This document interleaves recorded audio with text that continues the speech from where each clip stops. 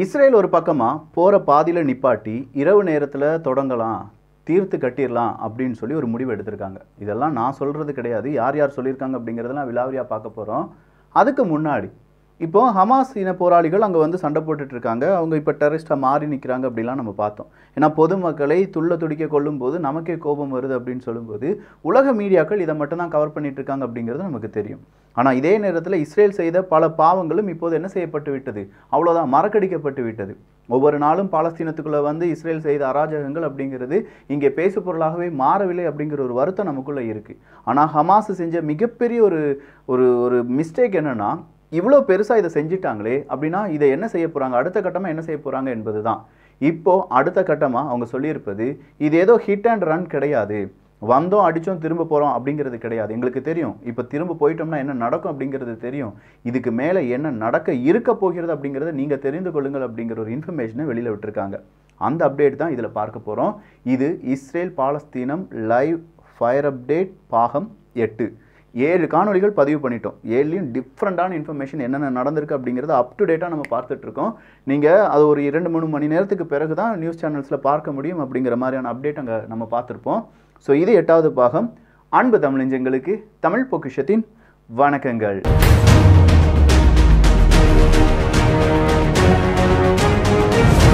சாலே அல் அரௌரி அப்படிங்கிறவர் இவர் யார் அப்படின்னு பார்த்தீங்கன்னா இந்த ஹமாஸினுடைய கமாண்டர் அல் கொசாம் பிரிகேட் அப்படின்னு ஒன்று இருக்குது பார்த்தீங்களா? அந்த பிரிகேடினுடைய கமாண்டர் தான்.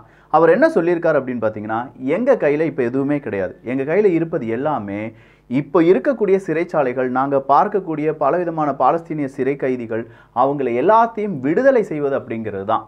எங்களுக்கான ஒரு படை அவங்களையும் நாங்கள் விடுதலை செஞ்சு எங்கள் நாட்டுக்குள்ளேயே இல்லாட்டி காசா பகுதிக்குள்ளேயே கொண்டு போகணும்.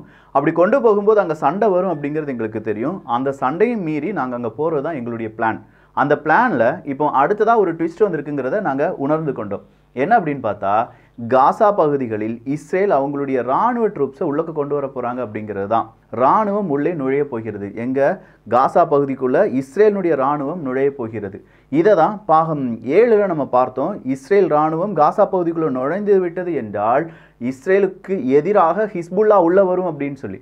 ஸோ ஹிஸ்புல்லா ஹமாஸ் ஒன்றிணைய போகிறார்கள். அந்த தருணம் தான் இன்று இரவு நடக்கப் போகுது.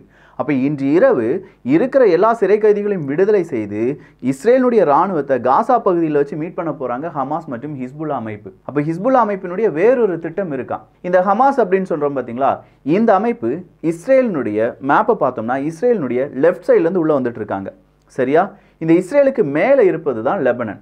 அந்த மேலிருந்து இப்போ ஹிஸ்புல்லா அமைப்பு என்ன செய்ய ஆரம்பிச்சுட்டு இருக்காங்கன்னா இஸ்ரேலுக்குள்ளே ஊடுருவதற்காக இல்லாட்டி இந்த காசா பகுதிகளோடு சேர்ந்து அவங்க சண்டை போடுவதற்காக தயாராகிட்டு இருக்காங்க அப்போ இரண்டு முனைகளிலிருந்தும் இஸ்ரேலினுடைய படைக்கு எதிராக ஹிஸ்புல்லாவும் ஹமாஸும் ஒன்றிணைய போகிறாங்க அப்படிங்கிறது தான் அப்படி ஒன்றிணைந்து விட்டார்கள் என்றால் இரண்டு பக்கம் இருக்கக்கூடிய பிரச்சனையும் இஸ்ரேலினுடைய ராணுவம் சமாளிக்க வேண்டியதாக இருக்கும்.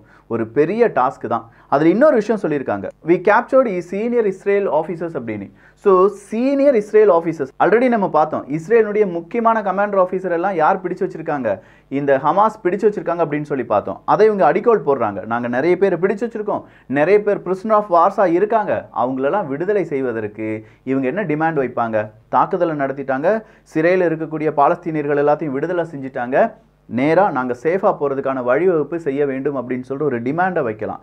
Enemy ground entry into Gaza எங்களுடைய எனிமி அவங்க கிரவுண்ட் ஃபோர்ஸாக உள்ளே வரும்போது தான் உண்மையான யுத்தம் அப்படிங்கிறது ஆரம்பிக்க போகுது. அதாவது இன்று இரவு இஸ்ரேல் சொன்ன மாதிரி அவங்களுடைய கிரவுண்ட் ஃபோர்ஸ் உள்ளே போகிறாங்க அப்போ தான் உண்மையான யுத்தம் ஆரம்பிக்க போகுது. We have no choice but to continue this battle அப்படின்னு சொல்லியிருக்காங்க. எங்களுக்கு வேறு வழி இல்லை. இந்த பேட்டில் இந்த யுத்தத்தை நாங்கள் கண்டினியூ பண்ணுறதை விட்டுட்டு எங்களுக்கு வேறு வழியே இல்லை அப்படின்னு சொல்லியிருக்காங்க. This is not hit and run அப்படின்னு சொல்லியிருக்காங்க. நம்ம முதலே பார்த்த மாதிரி. அவங்களுக்கு தெரியும். இது பக்கா பிளானிங்கோடி முப்படைகள் அதாவது தரைப்படை விமானப்படை அப்படின்னு சொல்கிற மாதிரி மோட்டரைஸ்டு கிளைடர் அடுத்ததாக கப்பல் படை அப்படின்னு சொல்லி போட் வழியாலாம் உள்ளே வந்தவங்க. அப்போ பக்காவாக பிளான் போட்டு தான் இதை எடுத்திருக்காங்க. We started an all out battle அப்படின்னு சொல்லியிருக்காங்க. ஸோ எல்லா பக்கமும் எங்களுக்கு என்னென்ன திருப்பங்கள் இருக்குது என்னென்ன முயற்சிகள் இருக்குது எப்படி எங்களுடைய படை வீக் ஆகிருக்காங்களா ஸ்ட்ராங்காக ஆகிருக்காங்களா எல்லாம் கவனித்த பிறகு தான் இந்த யுத்தத்தை தொடங்கணும் அப்படின்னு சொல்லியிருக்காங்க. அடுத்ததாக அவங்க சொன்ன முக்கியமான ஒரு விஷயம் இருக்குது இந்த யுத்தத்தில் ஃப்ரண்ட் அப்படிங்கிறது அதாவது எங்களுடைய முன்னால் நிற்கும் படை அப்படிங்கிறத நாங்கள் எக்ஸ்பேண்ட் பண்ண போகிறோம் அப்படிங்கிறது. தான் ஸோ ஹிஸ்புல்லாவினுடைய வரவு இவங்களுக்கு தெரிஞ்சிருக்கு. அப்போ நாங்கள் எக்ஸ்பேண்ட் ஆகும் we have one prime target our freedom and the freedom of our holy sites அப்படிங்கிறது. ஸோ எங்களுக்கு ஒரே ஒரு இலக்கு மட்டும்தான். எங்களுக்கான சுதந்திரம் எங்களுடைய இந்த ஹோலி சைட் அப்படின்னு சொல்கிறோம்ல எங்களுடைய புனித தலம் அந்த புனித தலத்தினுடைய ஃப்ரீடம் அதை இஸ்ரேல் பிடித்து வைத்திருக்கிறார்கள். அவர்களிடம் இருந்து எங்களுடைய நிலத்தை நாங்கள் மீட்கப் போகிறோம். இது மட்டும்தான் எங்களுடையது அப்படின்னு சொல்லியிருக்காங்க. அவங்களுடைய குறிக்கோளை சொல்லிட்டாங்க அவங்களுடைய பிளானை சொல்லிட்டாங்க. அவங்க ஏன் இங்கே வந்தாங்க அப்படிங்கிறத சொல்லிட்டாங்க. ஒட்டுமொத்தமாக காசா பகுதிகளில் இந்த கிரவுண்ட் ஃபோர்ஸ் உள்ளே போகும்போது அடுத்த யுத்தம் ஸ்டார்ட் ஆக போகுது அப்படிங்கிறதையும் சொல்லிட்டாங்க. இங்கே இன்னொரு விஷயத்தை பார்த்துக்கோங்களேன். நேஷனல் செக்யூரிட்டி கவுன்சில் இஸ்ரேலுடைய நேஷனல் செக்யூரிட்டி கவுன்சில் அப்ரூவ் பண்ணிட்டாங்க. நம்ம கிரவுண்ட் ஃபோர்ஸை உள்ளே அனுப்பிடலாம் அப்படின்னு சொல்லி. ஆப்ரேஷன் அயன் ஸ்வாட்ஸினுடைய முக்கியமான ராணுவ வீரர்கள் எல்லாருமே ப்ரிப்பேர் ஆகிட்டாங்க அயன் ஸ்வாட்ஸ் அப்படிங்கிறது ரெடி ஆயிருச்சு. இஸ்ரேலினுடைய army spokesperson Richard Hecht அப்படிங்கிறவர் என்ன தெரியுமா சொல்லியிருக்காரு? By the end of today இந்த இரவு முடிவதற்குள் இந்த நாள் முடிவதற்குள் there will be no more living terrorist left in Israel அப்படின்னு சொல்லி. இங்கே உயிரோடு இருக்கக்கூடிய ஒரு தீவிரவாதியும் இருக்க மாட்டான். எல்லாத்தையும் நாங்கள் கொண்டுருவோம் இல்லாட்டி அவங்க இடத்துக்கே திரும்ப அனுப்பிடுவோம் அப்படின்னு சொல்லியிருக்காரு ஆர்மி ஸ்போக்ஸ் பர்சன் ஸோ அந்த அளவுக்கு ஆர்மி பக்காவாக திட்டம் போட்டிருக்காங்க. பிரிசனர் ஆஃப் வாஸ் அப்படிங்கிறவங்கள வச்சு இனி இந்த ஹமாஸ் மற்றும் ஹிஸ்புல்லா சில பல கேம்ஸை விளையாடலாம். இது கூடவே ஈரான் கத்தார் மற்றும் சவுதி அரேபியா இல்லை இன்னும் சிரியா போன்ற நாடுகள் ஒன்றிணைந்து அடுத்ததாக இந்த இஸ்ரேலினுடைய படையை எதிர்கொள்ள போகிறார்களா? ஆயிரத்தி தொள்ளாயிரத்தி எழுபத்தி மூணுக்கு பிறகு ஐம்பது வருடங்களுக்கு பிறகு இஸ்ரேலில் நடக்கக்கூடிய மிகப்பெரிய ஒரு பதட்டமாக இது பார்க்கப்படுகிறது. இஸ்ரேலினுடைய டிஃபென்ஸ் ஃபோர்ஸ் அதில் இருக்கக்கூடிய ஒரு முக்கியமான அதிகாரி என்ன தெரியுமா சொல்லியிருக்காங்க? ஹை ப்ராபபிலிட்டி அப்படிங்கிறது ஹிஸ்புல்லா உள்ள வர்றதுக்கான ஒரு பக்கா பிளானா இதை பார்க்கலாம். உண்மையா? ஹமாஸ் அப்படிங்கிறவங்க இங்கே வர்றதல்ல பிளான் ஹிஸ்புல்லா உள்ள வர்றதான் பிளான் அதற்கான இனிஷியல் திட்டம் நிறைவேறி விட்டதாகவும் ஹிஸ்புல்லா தான் இப்போ உண்மையான எதிரியாக மாறப்போகிறார்கள் அப்படிங்கிற அறிவிப்பையும் கொடுத்திருக்காங்க. ஐடிஎஃபினுடைய இஸ்ரேல் டிஃபென்ஸ் ஃபோர்ஸினுடைய மேஜர் ஜெனரல் காசன் அல்யான் அப்படிங்கிறவர் என்ன சொல்லியிருக்காருன்னா Hamas has open the gates of hell into Gaza strip அப்படின்னு சொல்லியிருக்காங்க. காசா ஸ்ட்ரிப்பினுடைய ஹமாஸ் திறந்து வச்சுட்டாங்க. இனி எங்களுடைய ஆட்டம் தான் நாங்கள் திருப்பி அடிக்கும்போது உங்களால் தாங்க முடியாது.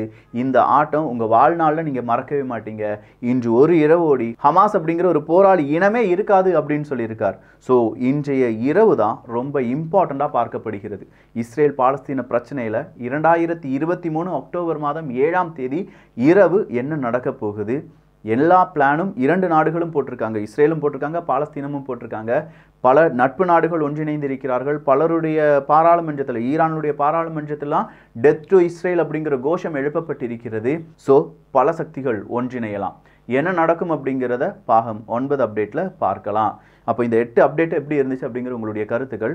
இடைவிடாமல் நானும் பேசிட்டே இருக்கேன் படிச்சுட்டே இருக்கேன் படிக்கிற தகவல் சரியானதா அப்படிங்கிறத சரிபார்த்து தான் இதை நான் போட்டுட்டு இருக்கேன் நிறைய விஷயங்கள் நிறைய ஹார்ட் ஒர்க் இருக்குது உங்களுடைய பாராட்டுகள் இல்லாட்டி நீங்கள் சொல்கிற மாதிரி என்ன விக்கி பாலஸ்தீனத்தை பற்றி பேசும்போது அவங்கள டெரரிஸ்ட்னு சொல்கிறியே நீ என்ன இப்படி மாறிட்ட? இந்த மாதிரி கேள்விகளையும் நான் பார்த்துட்டு தான் இருக்கேன். ஆனால் இதே பாலஸ்தீனியர்களுக்காக இஸ்ரேல் ஒவ்வொரு பாலஸ்தீனியர்களையும் கொல்லும்போது அதை ஒரு செய்தியாக வெளியிட்ட ஒரே ஒரு சேனல் நம்ம தமிழ் விதை தமிழ் பட்சமாக மட்டும்தான் இருக்கும். இப்போ ஹமாஸ் காண்பித்தது தீவிரவாத செயல் தான் அதை கருத்து கிடையாது. அதுக்கு முந்தைய வரை ஹமாஸ் இன போராளிகள் அப்படின்னு தான் என் வாயிலிருந்து வந்திருக்குமே தவிர அவங்களை நான் தீவிரவாதிகள்னு சொல்லியிருக்க மாட்டேன். இங்கே நடப்பது தீவிரவாத செயலாக பார்க்கப்படுகிறது. ஏன்னா அதனுடைய உண்மைத்தன்மையை நாம் இப்போ பார்த்துட்டு இருக்கோம். ஸோ இந்த ஒரு காணொளி பற்றி உங்களுடைய கருத்துக்கள் இங்கே வரவேற்கப்படுகின்றன. எல்லோரும் தமிழ் பட்சத்தில் இணைந்திருங்கள். நல்லதை பகிர்ந்து நல்ல சமுதாயத்தை உருவாக்கும். அதுக்கு முன்னாடி இந்த வீடியோக்கு நோட்டிஃபிகேஷன் எதுவுமே வராது. நம்முடைய வாட்ஸ்அப் குரூப் இருக்குது அதுக்கான லிங்கை கீழே கொடுத்துருக்கேன். அதில் ஜாயின் பண்ணிக்கோங்க. இல்லை ஒரு மணி நேரம் ஒன்றரை மணி நேரத்துக்கு ஒரு தடவை ரிஃப்ரெஷ் பண்ணி பார்த்துக்கோங்க. நல்லதை பகிர்ந்து நல்ல சமுதாயத்தை உருவாக்குவோம். நன்றி. வணக்கம்.